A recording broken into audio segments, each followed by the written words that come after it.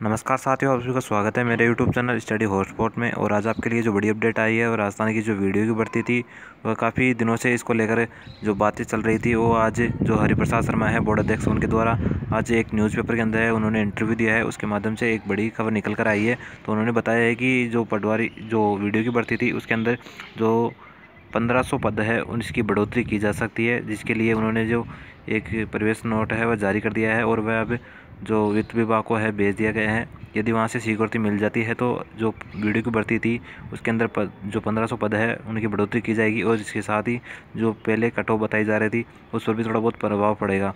तो दो या तीन नंबर का आपको उस पर प्रभाव देखा जा सकता है, लेकिन जिसके भी चालीस प्लस नंबर बन रहे हैं, वह ज़रूर इसकी, जो मेंस की है, तैयारी कर लें, क्योंकि अब जो एग्ज़ाम है, आपका फरवरी मार्च में होने वाला है और इसको लेकर भी अभी जो एग्ज़ाम कैलेंडर है, वह जारी होने वाला है। जल्दी ही आपको जो एग्ज़ाम कैलेंडर होता है, वह हरिप्रसाद शर्मा के द्वारा जारी कर दिया जाएगा। तो आप मेंस की तैयारी करें, आपको यहाँ पर पल पल अपडेट मिलती रहेगी।